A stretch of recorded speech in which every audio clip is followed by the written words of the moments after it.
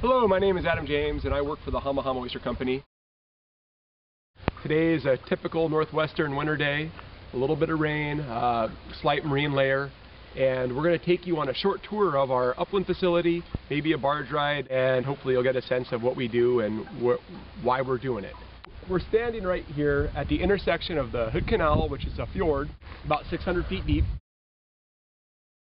Hama Hama River behind me,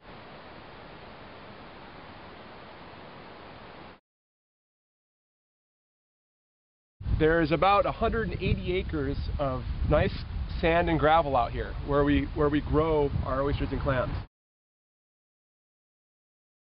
Last night I was walking around with a headlamp with the crew at about midnight.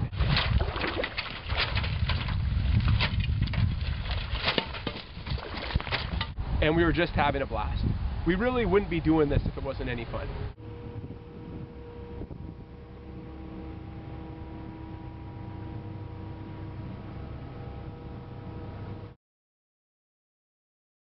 Hello, so now we're out to our beds where we harvested last night. We filled up these cages. I'm going to fire up the diesel motor and we're going to pick up a tub of openers.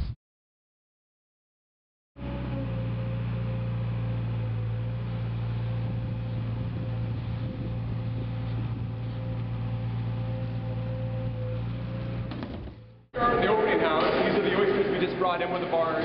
Roberto has been working for us for about 20 years. He's probably opened uh, I don't know, let's just say 8 million oysters.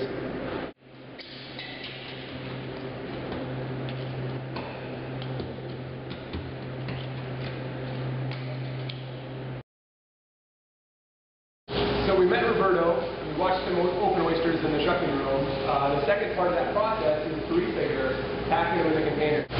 Well, I pack oysters